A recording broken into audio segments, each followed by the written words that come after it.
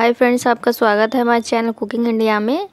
आज हम बनाएँगे ओरियो बिस्किट से बिल्कुल हलवाई स्टाइल में मिठाई, जो कि बहुत ही टेस्टी लगती है खाने में। तो चलिए स्टार्ट करते हैं। ये हमने चार पैकेट ले लिए हैं ओरियो बिस्कुट के। ये दस दस रुपये के, किसी भी आप दुकान से ले सकते हैं। और इन्हें हम पैकेट को खोल लेंगे चारों को। चारों पैकेटों को खोल के चारों को हम बिस्कुटों को निकाल लेंगे। तो देखिए हमने चारों पैकेट खोल लिए हैं और सारे बिस्किट हमने निकाल लिए हैं।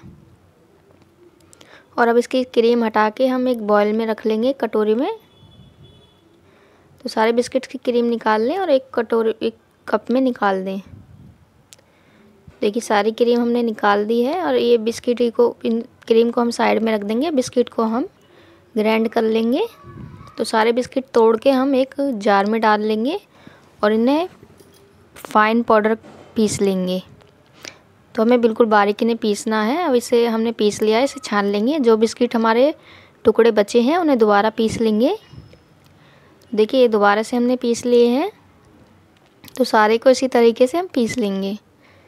तो सारे बिस्किट हमारे पिस चुके हैं और अब इसमें हम एक चम्मच मिल्क पाउडर डाल लेंगे। मिल्क पाउडर डालने से इसमें बहुत ही अच्छा टेस्ट आता है। आप चाहें तो इसमें चीनी भी डाल सकते हैं। अब इसे हम दूध से गूंद गूंद लेंगे। चीनी हमने इसलिए नहीं डाली है क्योंकि बिस्किट ये बहुत ही मीठे होते हैं तो इस वजह से हमने इसमें चीनी का यूज़ नहीं किया है। आप चाहें तो इसमें चीनी का यूज़ कर सकते हैं। चीनी को अगर आप ऐड करना चाहते हैं तो उसे पीस के तब ऐड करें। तो इसे हम गूंद लेंगे। तो इसका हमें सॉफ्ट डो बना के रेडी करना है। इसमें ऑयल वगैरह डालने की ज़रूरत नहीं है। इसमें ये बहुत ही सॉफ्ट हो जाता है गुनने के बाद। तो देखिए इसमें हमने चार से पाँच छः चम्मच दूध लिया है और उससे हमारा आट ये गुन चुका है और ये बिस्कुट का पाउडर तो ये देखिए, अभी हाथों पे भी नहीं चिपक रहा है। बहुत ही सॉफ्ट होता है। बहुत ही चिकना होता है। तो इसे थोड़ा सा मल मल लें ताकि ये सॉफ्ट हो जाए। तो देखिए, ये बिल्कुल भी हाथों पे नहीं चिपका है। तो ये हाथों पे नहीं चिपकता है क्योंकि ये बहुत ही इसमें चिकनाट होती है। तो इसमें कोई भी आपको घी या फिर ऑयल डालने की कोई ज़रूरत नहीं है। इसमें बहुत ही चिकनापन होता है बिस्किट में। तो ये पहले से ही आपके हाथों पे नहीं चिपकेगा। तो देखिए कितना सॉफ्ट हमारा डो बन के रेडी हो गया है। तो इसे एक एक मिनट के लिए इसी तरीके से आप गूँध लें। तो इसे हमने साइड में रख दिया है। ये हमारा डो रेडी हो गया। अब हम जो हमने क्रीम निकाल थी, उसे निकाल लेंगे। और अब इसमें हम हाफ़ कप कोकोनट पाउडर ले लेंगे और हाफ़ कप मिल्क पाउडर ले लेंगे। और एक चम्मच हम इसमें शुगर ले लेंगे। तो देखिए, ये भी हमारा डो रेडी हो गया है। और इसे भी हम साइड में रख देंगे। ये भी हमारा बहुत ही सॉफ्ट डो बन के रेडी हुआ है। ये भी हमारा हाथों पे नहीं चिपक रहा है। तो इसमें आपको घी डालने की या फिर कुछ भी डालने की कोई ज़रूरत नहीं है। ये बहुत ही अच्छे से रेडी हो जाता है। तो देखिए, ये डो भी हमारा रेडी हो गया है। तो अब हम जो हमने बिस्किट के डो बनाया, उसमें से हम पीसेस कट कर लेंगे। तो आपको ज़्यादा बड़े बनाने तो आप जड़े, ज़्यादा बड़े पीस भी कट कर सकते हैं। हमने मीडियम साइज़ में ये पीस कट किए हैं।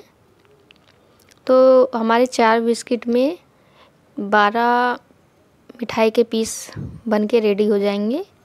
तो देखिए, इस तरीके से हम इन्हें तोड़ के रख लेंगे एक साइड में। तो हमने ये ज़्यादा बड़े नहीं बनाए, मीडियम साइज़ में हम इन्हें बना रहे हैं। आपको जिस भी साइज़ में बनाने हैं, आप उस साइज़ में इन्हें पीसी को तोड़ लें। तो देखिए, हमारे बारह पीस बन गए हैं। अब हम इन्हें, इनके गोले बना लेंगे गोल गोल। तो देखिए, ये कितने चिकने गोले बन के रेडी हुए हैं। तो सारे गोले इसी तरीके से आप बना लें।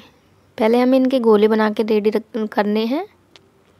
तो सारे के हमें इसके गोले बना लेंगे, इसी तरीके से।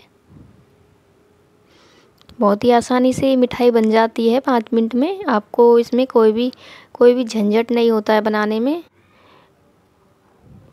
और ना ही बिल्कुल भी टाइम लगता है इसे बनाने में। तो आप ज़रूर बनाएँ अपने भाई के लिए इस रक्षाबंधन पे। बहुत ही टेस्टी मिठाई है ये। और बच्चों को भी बहुत पसंद होती है, क्योंकि ये बिस्किट चॉकलेट के होते हैं तो ये बहुत ही टेस्टी लगती हैं। तो इसके भी हमने गोले तोड़ लिए हैं, बारह पीस छोटे छोटे क्योंकि हमें उससे छोटे पीस कट करने हैं इसमें से, जो हमने गोले पहले रेडी करे हैं, उससे हम इससे छोटे पीस कट करेंगे, और इनके भी सारे हम गोले तैयार कर लेंगे बनाकर। तो देखिए इस तरीके से सारे गोले बना लें। तो ये सारे गोले हमारे रेडी हो चुके हैं, अब हम जो हमने पहले गोले बनाए थे, एक गोला ले लेंगे, उसे हम थोड़ा सा गोल गोल घुमा लेंगे थोड़ा सा बड़ा बड़ा कर लेंगे और इसमें हम जो हमने छोटे गोले बनाए हैं उसे रख लेंगे। और इस तरीके से इसे हमें कवर करना है दोनों, चारों तरफ़ से।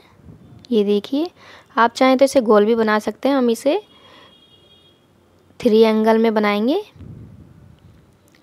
तो थ्री एंगल में ये बहुत ही अच्छी लगती है मिठाई और बहुत ही अच्छा लुक आता है इस पर तो देखिए, इस तरीके से हम इसे लुक देंगे। ये देखिए कितनी अच्छी लग रही है हमारी मिठाई, देखने में भी बहुत ही टेस्टी लग रही है। तो खाने में भी ये बहुत ही टेस्टी बनी है हमारी मिठाई। ये देखिए इस तरीके से हम मिठाई रेडी कर लेंगे सारी। तो देखिए इस तरीके से आप बना लें सारी मिठाई को। एक पीस और हम आपको बनाकर दिखाएँगे।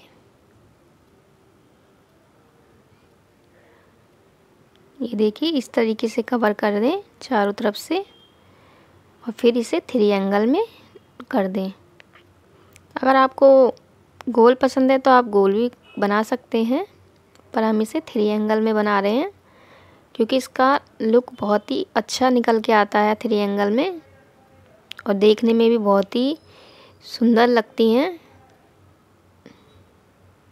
तो देखिए इसे हम इस तरीके से बना लेंगे सारी मिठाई को। तो आप ज़रूर बनाएँ। और अपने भाई को बनाकर खिलाएँ। बहुत ही टेस्टी मिठाई है। और घर में बहुत ही जल्दी बन के रेडी हो जाती है तो सारी मिठाई हम इस तरीके से तैयार कर लेंगे। तो देखिए, सारी मिठाई हमारी तैयार हो चुकी है। और अब हम इससे पे चांदी का वर्क लगा लेंगे। अगर आपको चांदी का वर्क नहीं लगाना है तो आप इस पर काजू, बादाम या फिर पिस्ता भी ग्रेट करके लगा सकते हैं। उससे भी बहुत ही अच्छा लुक आता है इस पर तो हम इसे बिल्कुल हलवाई स्टाइल में बना रहे हैं तो इस पर हम चांदी का वर्क लगाएँगे, उससे बिल्कुल हलवाई की तरह हमारी मिठाई दिखेगी। तो देखिए, बिल्कुल हमारी मिठाई हलवाई जैसी रेडी हो गई है। तो इसे हम अब प्लेट में निकाल लेंगे।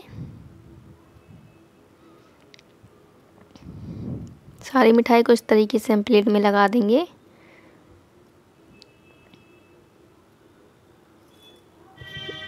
तो ये देखिए, सारी मिठाई हमने एक प्लेट में निकाल ली है।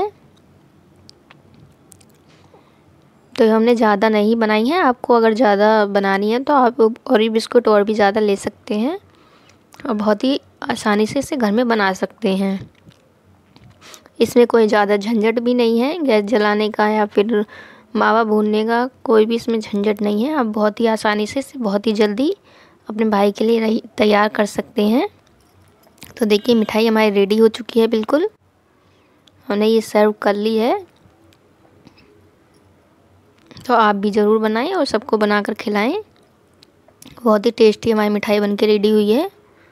तो आपको हमारी वीडियो पसंद आई हो तो हमारे चैनल को सब्सक्राइब करें लाइक करें कमेंट्स करें शेयर करें और हम आपसे आगे मिलते हैं। और नए वीडियो